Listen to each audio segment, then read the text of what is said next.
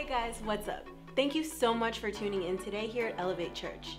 We know that today's message is going to rock your world and elevate your life to the next level. So sit back, relax, and enjoy the message.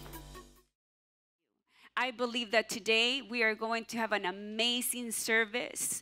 I don't know where you are in life, but one thing you need to know is that God loves you, God sees you, you are not forsaken, you have not been forgotten. So I believe that at the end of the day, you are going to be blessed, whether your children are here, or maybe they're out of state, or maybe you haven't even gotten a phone call and saying Happy Mother's Day. But I'm going to tell you who's telling you Happy Mother's Day our God. So happy Mother's Day to you. It is so awesome to be with you guys here today. We are excited for the service that we have, and you know, Mother's Day is one of those holidays that you know bring a lot of people together. So it is so good to see you guys here. We are a church that truly believes in families. We believe in moms. We believe in our children. We believe in our dads. But today's about moms, so we're gonna talk to moms, okay? Don't get offended if I don't talk to you today, okay? Because it's Mom's Day. It's my day. I told my kids it's our weekend today. Yeah. Okay. um, you know, Brave is our women's ministry here at Elevate Church, and we so love you, ladies. Can, you, can, can I just tell you that we love you so much? Yeah, thank you. Thank you for that. Awesome. I think some of you guys need to go out and get some iBrew coffee after this, okay? Yeah. Um, but we have put this together with our fearless, amazing mama of the house. shout. Call her Pastor Virginia, aka Mom, aka Mama, aka Mama. Yeah. Um, but tell us, Pastor Virginia, why do you you're you're sharing the stage today? Yes. Why are you sharing it with these amazing ladies? And what is the reason behind the name of beauty for Mother's Day? Yes, the reason um, every year at the beginning of the year, I always pray. You know, it's May, but I always pray to the Lord, okay, what do you want to do for Mother's Day? Because it's a big thing. It's a big thing to me. And as uh, leading Brave, which is women, whether you're a mother here, you're a nurturer, whether you're probably you're spiritual mom. So I thought, okay, what do I do this year? And I was waiting and praying to God, what do you want us to do today, uh, t- this year? And He wouldn't release me. And I saw a panel, and I'm like, well, that's very unconventional. Uh, that's not what we do. Uh, but then I thought Brave is hosting it, and I believe that you all, you not only need to hear from me, you need to hear from other mothers because we're in different seasons. We experience the same things, you know, like we get upset, we get disappointed, we get you know everything that motherhood brings within the joy. But I think it's important.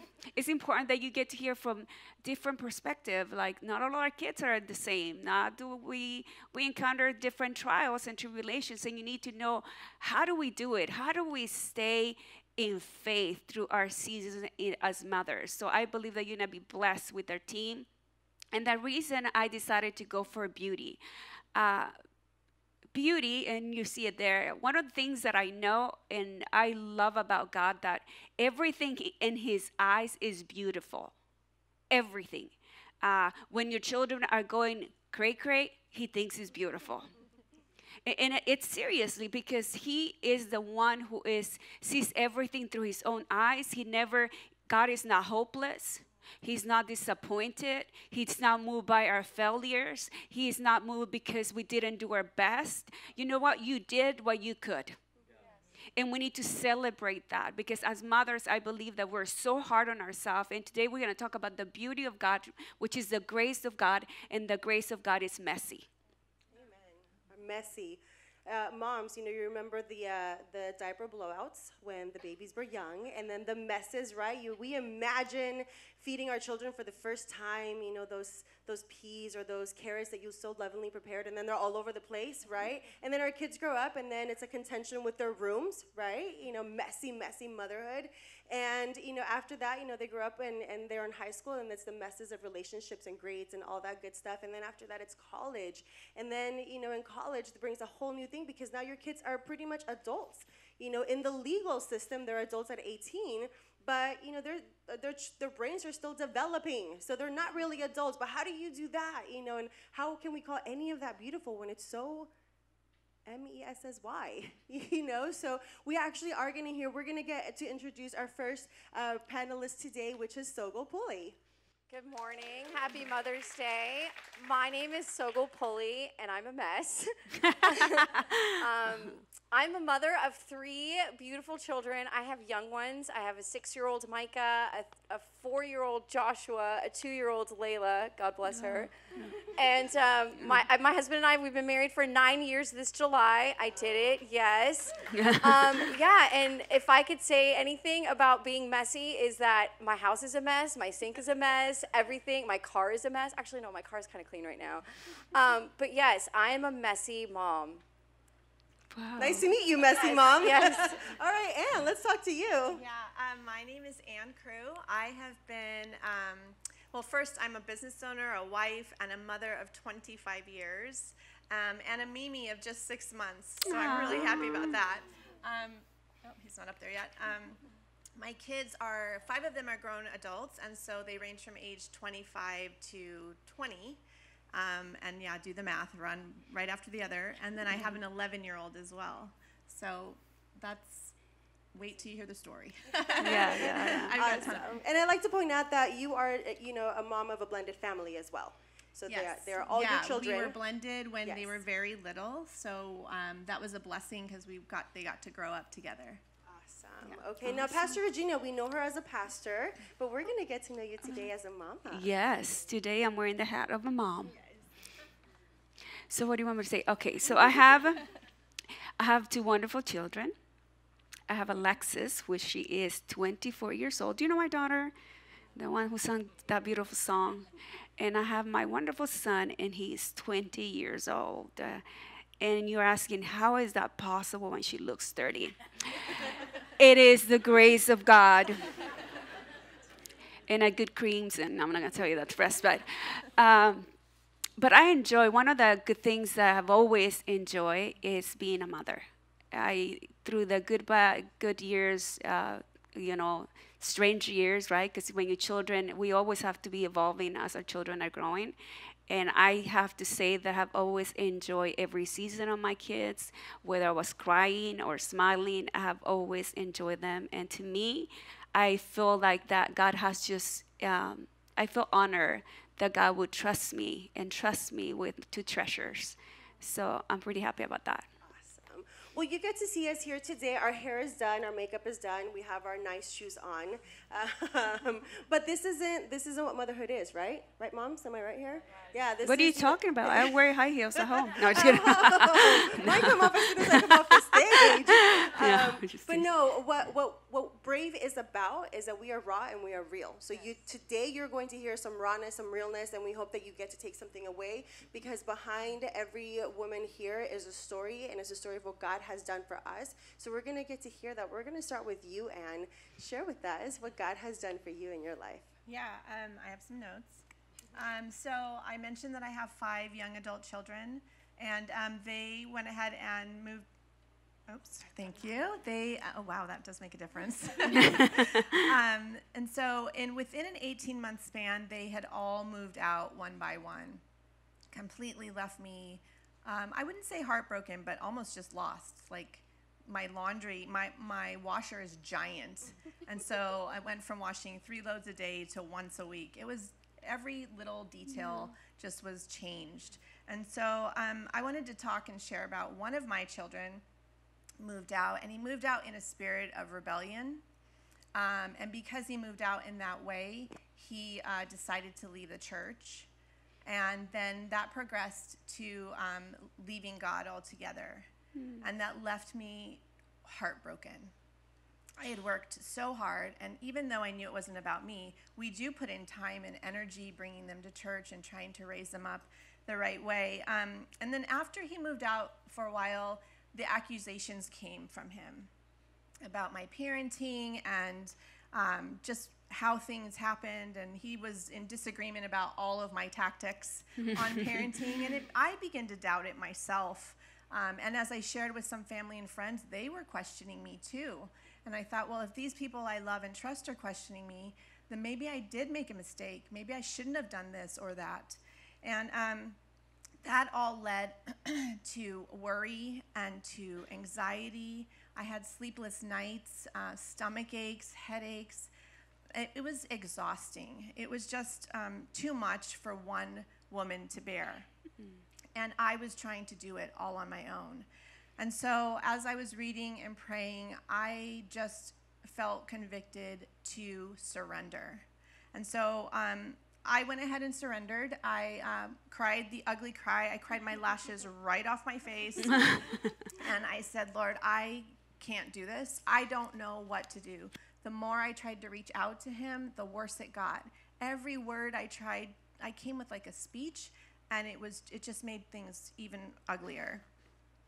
So I told the Lord, I can't do this anymore. I need your help. You love him more than I love him. He's your kid more than he's my kid. And I trust you. I'm going to trust you. Um, I'm saying this nice and clean, no tears, but I, it was ugly. that night, I believe there was a shift in what was about to happen. That night that I surrendered my situation to the Lord, everything changed. God started moving on my behalf um, within this situation. So I just remembered John 3:30 and it states, "He must be greater and greater and I must become less and less." Mm-hmm. So soon after that, peace came over me. Um, I was able to rest. My smile came back. And the resentment that I thought would be there forever, it left me. Mm. And that took up so much of my mind space. I chose to believe that what God had said to me was true. I had heard God speak through a program here called Reveal. I had heard God speak through His Word, and I had heard God speak through even just a cousin that I visited in another state. And God said, I am pursuing him. All you need to do is trust me.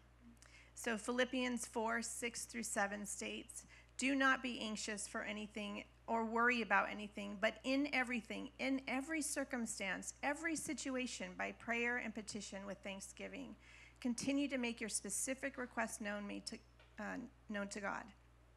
And the peace of God, that peace which reassures a mom's heart, that peace which transcends all of our understanding, that peace which stands guard over your hearts and your minds in Christ Jesus, it's yours. So, my son then, as God started to move, he called me. Three weeks later, I was like blown away. And he said that he wanted to come and visit. So, as I chose to let God pursue him, it freed me from trying to control the situation. Um, and so it did come to fruition. He did come and visit, um, and he, he brought a wife and a baby with him. they knocked on our door. We, we hadn't met them. I wasn't really too aware of the situation. um, and then during that week he was with us, I was very nervous about bringing him to church. Um, but his wife showed me the outfit that she had bought for the baby, his first church outfit. And I was blown away. Um, they did attend church here with me on Sunday and my family. And I was just in, I was in worship and I was blown away by God's faithfulness. Um, and so I wanted to um, let you know that 1 Peter 4 8 says, Above all, have fervent and unfailing love for one another, because love covers a multitude of sins. It overlooks unkindness, um, rebellion in a child, and it unselfishly seeks the best of others. Because I chose to trust God about the situation, it enabled me to love my son and to fall in love with his wife and my grandbaby. Awesome. Thank you for letting me share. Yes, that is beautiful. Let me tell you something, mamas. Don't stop praying. Don't stop loving. If you are here today and your child is out there and is out of control, do not worry. And I love what that scripture says. Constantly bring your prayers up to God. We can choose to constantly complain about our situation, or we can choose to constantly bring that prayer up to God. And I, you know, your son can't be with you, you know, today here to testify, which I believe that one day he definitely will. But I am here as a result of my mom's prayer. I was a 19 year old that left my house rebelliously, you know, because of I, I was S T U P I D. You know, I thought I knew it all at 19. Just my brain had it. full. Yeah, stupid, right? I was stupid. Say It was Yeah, so yeah.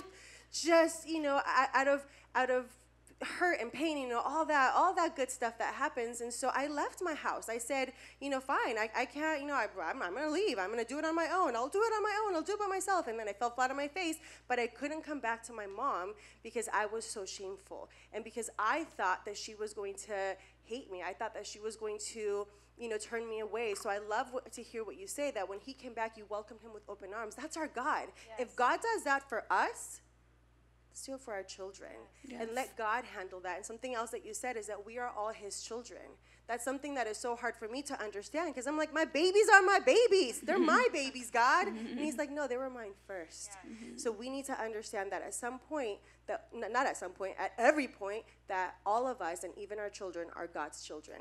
Yes. Amen. awesome. So Sogol, talk to us. I am way on the other end of the spectrum. I have little kids, um, and I never wanted to be a mom. I knew I wanted to be married, and I knew that uh, kids were going to come eventually. But I wasn't the individual that was like, I want babies, and this is what their names are going to be, and this is what my nursery theme is. I think when I found out I was pregnant with Micah, I cried. Not like, oh my gosh, I'm pregnant, you did it, Lord. It was like, really, God? really?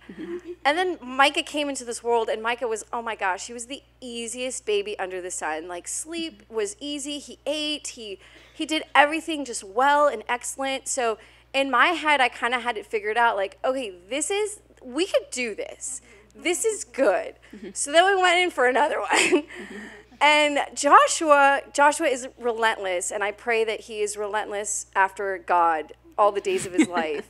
Um, and he he made me question. He made me question life. He made me question his life. he made me question. And how old so is he? Joshua is four, but- and he is a powerful four. Okay, remember I am his mother.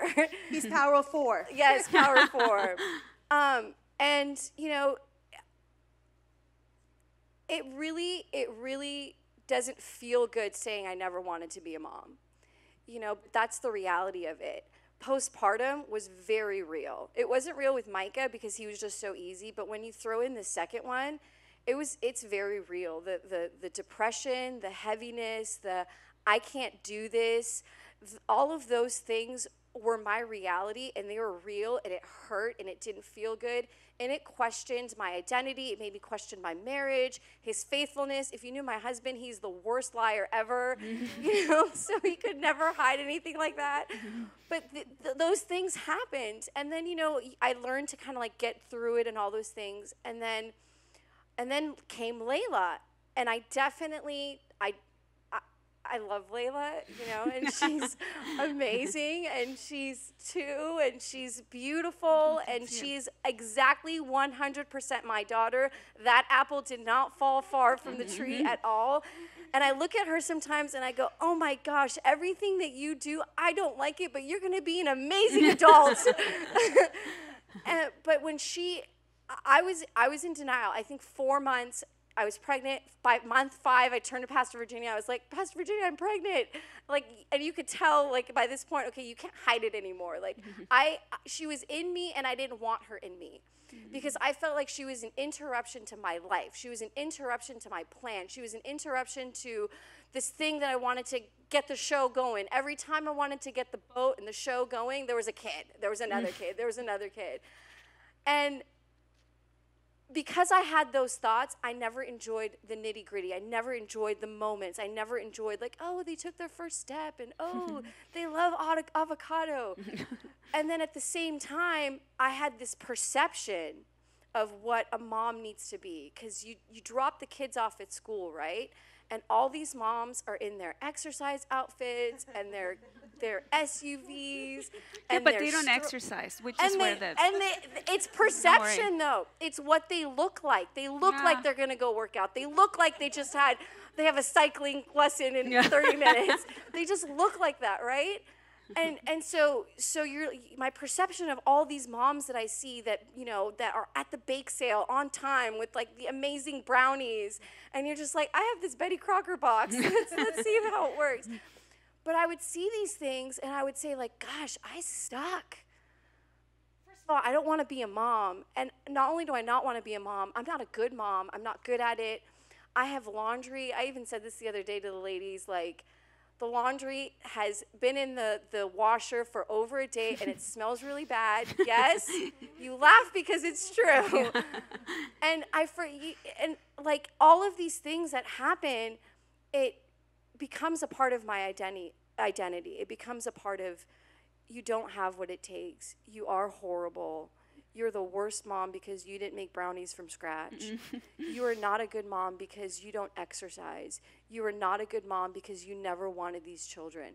And I would be at the grocery store, ladies and gentlemen, and and I would be like, you know, pushing the sh- the, the stroller, the, the the cart, and like moms would go like, oh, enjoy it. It's gonna go by so quick. And in my head, my first of all, my eye is twitching. Like, don't tell me to enjoy it. I don't enjoy this. This is not fun. You don't know, you know. And so for older moms, don't tell us that. It doesn't speak to me. Word of It wisdom, word of doesn't- wisdom. Tell us something, but not that. Yes, tell us. Tell me that it's gonna get better. Yes, tell me that it's gonna get better. Don't tell me to enjoy it because I don't enjoy this. I don't enjoy telling them, no, you can't have that because we haven't had dinner yet. You know, meanwhile, the eye's like this, and I still have like the frozen aisle to go down and all these things. And I went home and I was like, gosh, you know, everyone's always telling me to enjoy it, enjoy it, enjoy it. And I would bump into moms of like teenagers, and I would be like, so what's better, the mom of a teenager or the mom of a toddler? You know, which one's easier? Which one's easier? Because I feel like I would be a better teenager mom than a toddler mom. And one time God said to me, That's not your season. Mm-hmm. That, that's your season is this. And the enemy had made me think so much because he wanted me to miss my season. He wanted me to look at that season and that lane and that person running and that person doing that thing that I missed. I missed this season. I miss their first steps. I miss the enjoyment hmm. of making food for them. I miss the enjoyment of them, you know, learning and watching them grow and all these things. And the beautiful thing about God, because He's so beautiful, in Ecclesiastes, so the book of Ecclesiastes, the, the, the author Solomon, he goes through the whole thing of like, there's a time for this, there's a time for that, there's a time for all these things. It says, God has made everything beautiful and appropriate in its time. He's also planted eternity, a sense of divine purpose and a human heart, a serious longing which nothing under the sun could satisfy except God. Yet man cannot find out, comprehend, or grasp what God has done, his overall plan from the beginning. God has made everything beautiful, and this ugly season is beautiful in God's eyes. This season of my little kids, this season of them fighting for the remote, the Wii controller, all of those things, God made it for me. And if I miss it, I'm, I'm not going to be a good teenager mom. Mm-hmm. I am, if I don't learn what God has set for me here now, I I have missed. And if I can grasp eternity, and it's not like eternity, like think eternal minded and think of the kingdom. No, think with a purpose. God created me with a purpose, and my purpose right now is to make sure that these little kids know Jesus. Last week was Teacher Appreciation Week. Oh my gosh, all these kids had flowers and cards and things. I was like, oh crap, she like peanut M&Ms. I'm going to get the teacher peanut M&Ms. And I felt so bad for my kid. I felt so because I know that it's important to him. So I was like, you know what? I can't miss this. I have to be involved. I have to be present. I have to be aware because my kid needs me to be present and aware so that he can partake in the fun things that all the other kids partake in. Just because I don't feel like it, it's not about me right now. It's not about how I feel right now. It's that God gave me this this uh, this purpose and this season, and these are my kids that He gave to me, He gifted to me that you had said earlier. And if I don't cherish it and if I don't take care of it, I have not done well with what God has given me. Yeah, That is awesome. So, late, there's a process, and we got to enjoy every step of the process. And we can't skip a step in the process because if we try to skip it, then we're going to have to go back and redo it again, and it's going to be 10 times worse. Let me just tell you that.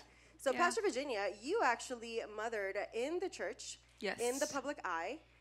Very and much. You have two amazing, beautiful children that we all look up to, and we're like, oh my gosh, they're so good. Were they this good at home all the time?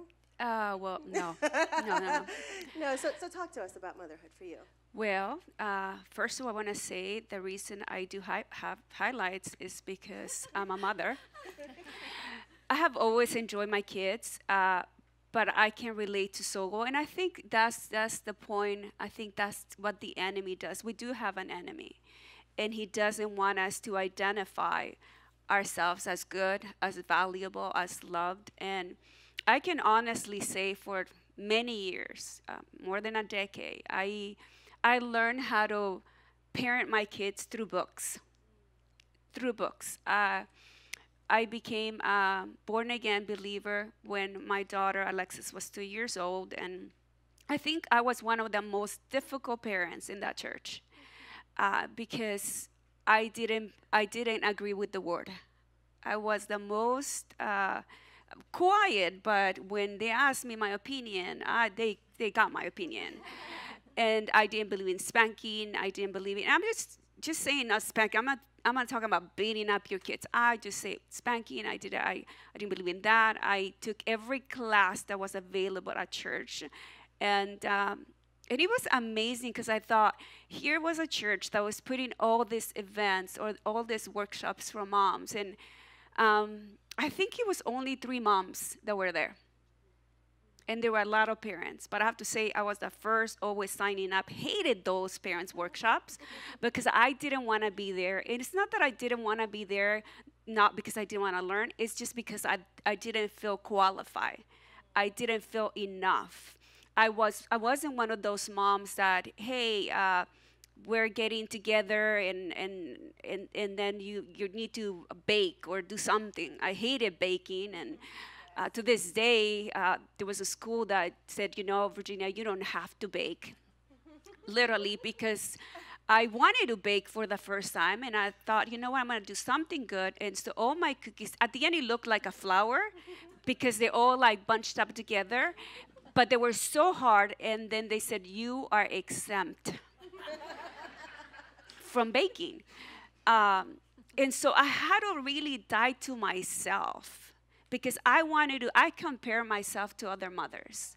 And I always felt that my kids were getting, they were not getting enough, that I wasn't good enough. So I decided I'm going to read whatever I can from the Word of God. I'm going to take every class that they, the, the church uh, is giving, and I'm going just to read. I'm going to read because I needed to, I didn't want to miss any season of my kids. So I read what do you do when you're having toddlers and then you know as you have two children or three children they're they, they're not the same you think you got an you're expert when you have the first one and then the second one comes and it looks just like you and and behave just like you and that's my son isaac uh, so I loved it when I said, "Oh my gosh, you're just like your mother." And as he was growing, I'm like, "Oh, you have the beauty of your mother." We're very passionate and very dedicated to what we believe, right? And if you don't believe what we believe, you're in trouble.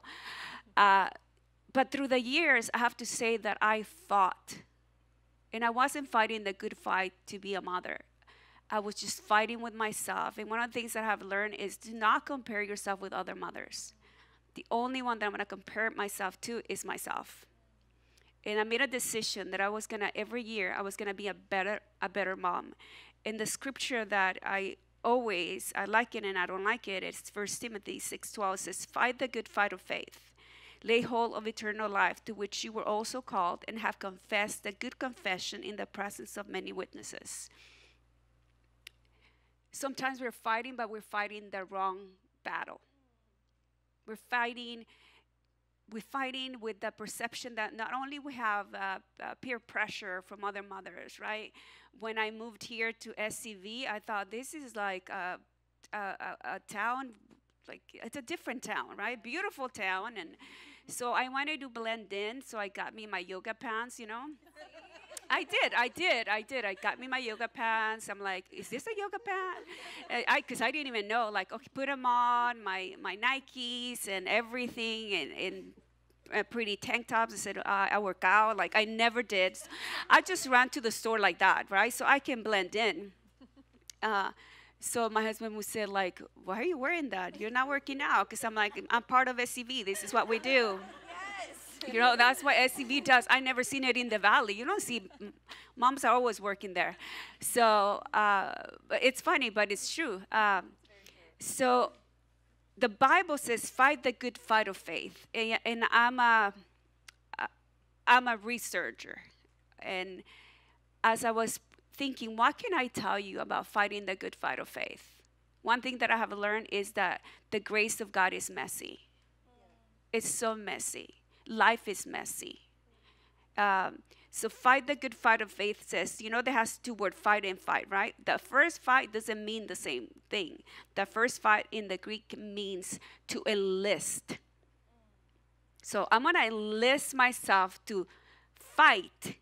The other five is that you show up. The good part means beauty. Can you believe that? Have you ever seen a, a well, I don't like boxing because it makes me feel bad for whoever wins. I don't care. I just feel bad because it's bloody. Any contact sport, I don't like it. I pray for them. My husband loves MMA. I'm like, oh, why, right? But but that's what I picture. It's not a fight like, um, oh, we're gonna fight and we're gonna have like uh, cotton gloves. No, it's not that kind of fight. The first one is we're enlisting we're enlisting to fight what? And when I when I read the word beauty, I'm gonna tell you what beauty means. The good fight of faith, it means magnificent. It's just the fight where you're signing up for struggles, for difficulties. So that's the kind of fight that we're fighting for. To what? To obtain the faith, to obtain the promises. And the second fight is that you show up. The second fight means you are actually in the arena where we're going to fight, right? And remember, we're not fighting flesh and blood. You're not fighting your children. You're not fighting your spouse. You're not fighting your your family members that always want to tell you how to parent your kids. I, I have been criticized many times the way I parent my kids because some people have said you are extreme. Well, I don't care. That's your opinion these are my kids, and one day I'm going to give an account.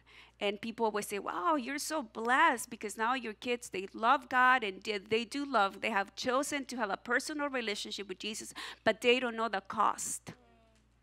They don't know my crying. They don't know how I had to fight myself, not fight them, but but not only fight myself and what I thought about me and believe that what God says, like that song, right? When you it says, I am not enough. We feel that we are not enough. Comparing myself at some point, and it took me about 10 years because I always wanted to be one of those moms that cook. And my kids, you know, they had to eat what I gave them.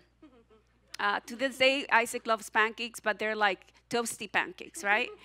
Um, he loves my eggs because they're runny, but they're my eggs. So, so I, they love what I gave them. You see, I was the one who was stressed out. Your kids are to eat whatever you give them. And I never for, forgot, it was probably 10 years ago, a friend of mine released me uh, because she said, Virginia, give them cereal. you know, if manna was enough for the Israelites, cereal is good enough for your kids. And I was, hallelujah.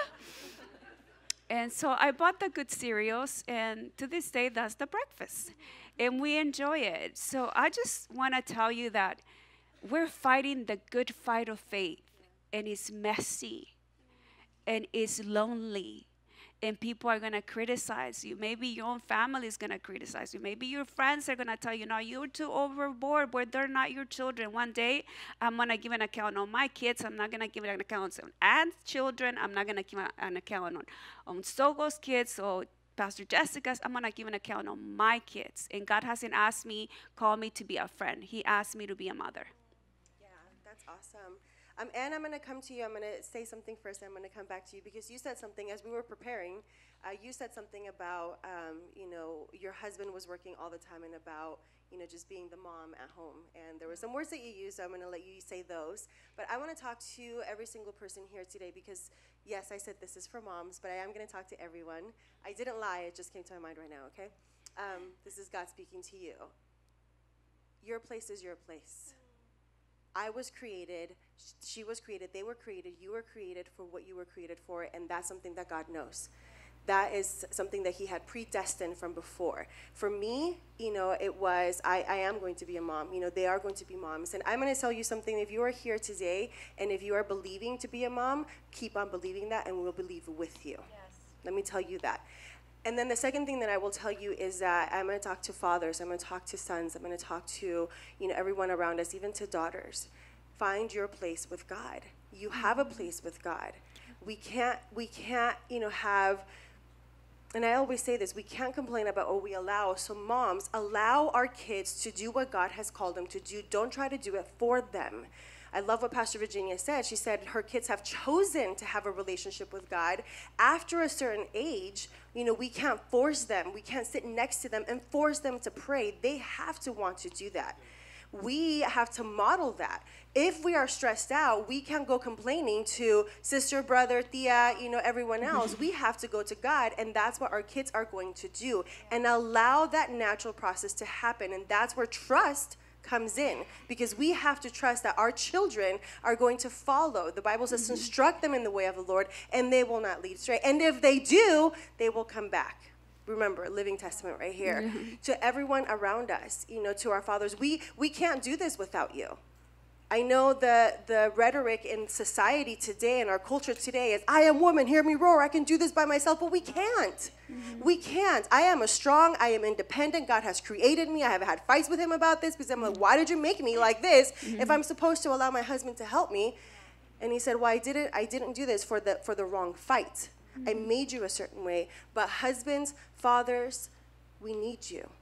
We need you to allow us, you know, to do in your own home, not compared to anybody else, but find out what your rhythm is going to be and live it. And then to kids that are here today, to our children, even if you are an adult and you have an adult mom, the Bible says to honor our parents and the Lord, for this is right. Sometimes we don't have to, I don't agree with everything my mom says or does, but I still honor her and if I do have something that I have to tell her, I bring it to God first, and then I, you know, come come to have this conversation with her. I really believe that. Yeah, you were talking about kids, you know, teens or toddlers. Yeah, we're not going to be. BF- I'm not BFFs with my six-year-old right now. She doesn't like everything that I do right now. She tells me to my face, okay? And, and that's okay because I'm allowing her to have the kind of relationship that I want her to have to, with God with respect.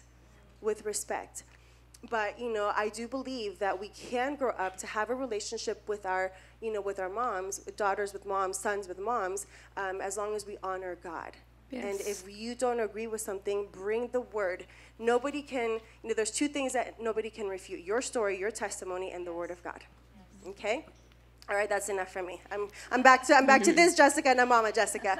Okay, so Anne, talk to us a little bit about that. We have a few minutes.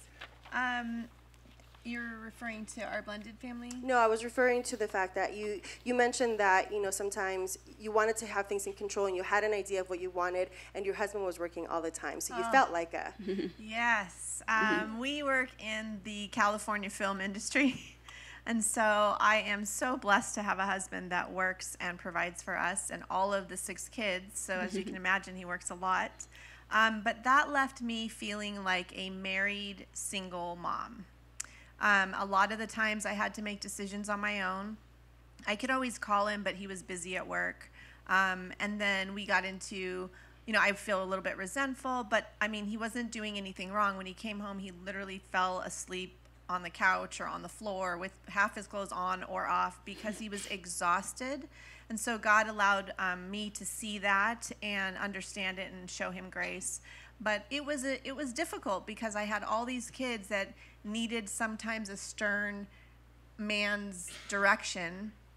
And um, sometimes we lacked that because he was at work so many hours. So I just wanted to encourage the, the actual single moms and those moms that are married and do parenting on your own, or you feel like you're doing it on your own a lot of the times. Um, I know it sounds cliche, but really, God is, can be that parent. God can be that um, that just guiding light to where you need to go. And so I s- didn't stop, but I kind of stopped going to my husband for certain things that I could deal with at home, and I just started going to God. And it looked like out loud in the middle, in front of my children, like, Lord, help me. Lord, save them. Lord, what am I going to do with him? Um, and the kid was standing like right there, like, hey, mom, I'm right here. We'd be driving, and I'd say, Holy Spirit, I pray that you would just quiet this car so I can concentrate and we don't drive and go off the cliff. And little by little, the kids in the back would, would quiet up, you know. but I cried out to the Lord in my home. It was an out loud kind of faith. And I think that um, my kids aren't here now, but if you, they're coming next service, and I think they would agree that they saw that in me, that I cried out to the Lord um, in front of them, that they saw me reach out to God in front of them. Um, the ugly cries I saved for the shower, but um, the rest, the calling on God's name, was something that we did all the time. Yeah. Yeah. That's awesome. Hey, listen, moms like long showers not because of the hot water or anything. We just like our alone time, and sometimes it's our only time to cry. Okay, so leave us alone. Let us let us spend half an hour in there. And you know what? She has said something earlier, which I loved. You said that, you know, sometimes we ask our kids, especially when they're teenagers, and we're asking them to do some chores, right? But you said that you expected them to have a smile while doing the dishes. Yeah, And like, we're, mm. there are a few things I wish I knew um, then that I know now, and um, just want to give all you moms permission to not um, to release your children from smiling during chores. It'll save you a lot of heartache. I know my sister called about a week ago and was like, "My niece or her daughter, my niece, like is doing chores and she's pouting and she's this and that," and I'm like. Let it go. Mm-hmm. They will never smile when they're doing chores unless you've got an angel child. Mm-hmm. Um, but I think that that was an expectation my parents had for me, and then I just thought that that was the right thing to do. And I had to ask myself, who told me that? Where mm-hmm. did I get that? Who told me my kid had to smile when he was washing dirty dishes? We don't even smile when we do them. you No, know? right? All these expectations that I got from my parents or from my neighbors or from my friends, um, I now coming, I, I um, put it up against the question, who told me that? That's good. And if it wasn't directly from God, if I didn't hear it from God, and He never told me they had to smile when they were doing their chores, so. I love it. Listen, ladies and gentlemen, anybody that you know wants to talk to, to us, we will be outside today at our um, you know beautiful setup outside for moms, and uh, talk to us. Talk to anybody. Come to come to Elevate Men for for you know for all the men here, all the women. Come to Brave. Come to the meetings. Come to the classes. We don't do them just to have a full agenda as a church. We do them for you. We do them because we need this. We need these tools. We need these resources. Had and not gone to that reveal night and gotten that confirmation from God, had Pastor Virginia not gone to those classes, you know, had Sogol not been surrounded by all of this, we wouldn't be here today. And let me tell you that if you feel alone, you're not. You are not, and allow God to love you. Allow God to give you His comfort because that's who He is. God is a loving Father, He's a protector, He's a provider, but He has His Holy Spirit to comfort you. Invite him into your room. Invite him into your house. Invite him. Don't he's already there but allow him to do something. Um, that is all the time that we have for today. I wish we had more time because we like to talk but we are here at our next service and also outside so thank you so much for being with us today. I'm going to do something right now. I'm going to ask all the moms if you are a mom here today i'm going to ask you to stand up. I'm going to stand up with you today. We want to give you we want to bless you not only with you know being with us here today but we want to bless you with a gift. This is for you. This is going to be a reminder of god's love for you. So every time that you look at it you can open it when you get home but just remember these words. Um, every time that you look at it just remember that you are loved that above all the hats that you wear above everything else that you do you are also god's daughter. You are his. You are his and you are loved. And you know what? You're doing great and you just got to keep going so um, as we give those gifts we're going to have our, our, wonderful Pastor Virginia pray for you guys. But I just want you to take that away with you today. There's a scripture in Isaiah that says, you know, to let God love you like a mother comforts you. Let Him be your comfort whenever you need that. I know we said there's a lot of things that we have going on, but many times we do have these moments. We're not lonely, but we are alone physically with no people around us. But that's what God is going to be for you. Amen. Yes, and uh, I want to prophesy over you as a mother. You know, we, we the Bible says that we can prophesy to each other, and we prophesy with the Word of God. And one of the word that I have is Psalms 46, 5. God is in the midst of her. He's in the midst of you. She shall not be moved. God shall help her, just as, a, as just at the break of dawn. What does that mean? Why does it say just as the break of dawn? Because many times I feel that we are going through darkness. We don't see the promises. And I don't know where you are. Like, I feel that there's a lot of heaviness.